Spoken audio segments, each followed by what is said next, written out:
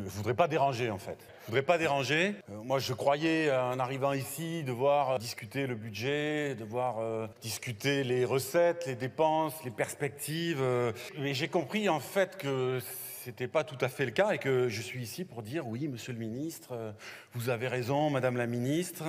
Bravo, monsieur le ministre. euh, pardon, madame la ministre.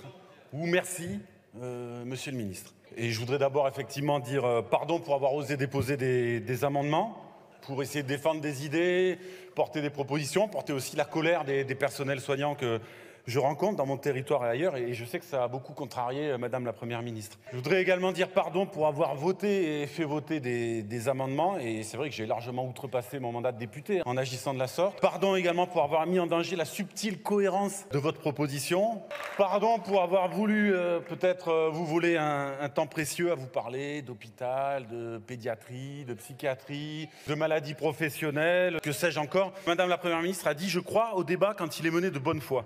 Alors merci de tout cœur pour votre bonne foi. Merci pour la qualité de, votre écoute et la qualité de nos échanges. Et au moment où s'achève cette euh, discussion, on a le sentiment en effet qu'elle n'a jamais véritablement commencé, ou alors que c'était hier. C'est fou comme le temps passe vite. Elle a dit, des débats ont eu lieu en séance à l'Assemblée nationale et au Sénat. À chaque fois, les débats ont été constructifs. Alors merci pour ces débats si constructifs.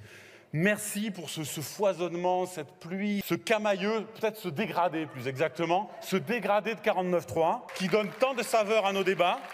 Je crois qu'on aura finalement rarement aussi peu débattu de santé, de protection sociale depuis l'existence des lois de financement de la sécurité sociale. Merci enfin pour ce budget dont la beauté, la pertinence réside sans doute dans l'indigence, les manques, les défauts, les, les insuffisances, les fausses bonnes idées. Et j'avais pas su apprécier tout ça à sa juste valeur.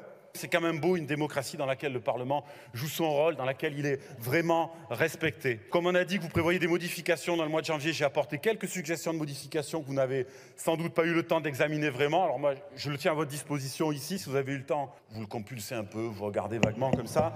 Vous n'êtes pas obligé d'en tenir compte. De toute façon, s'il y a un problème, vous sortez un 49.3.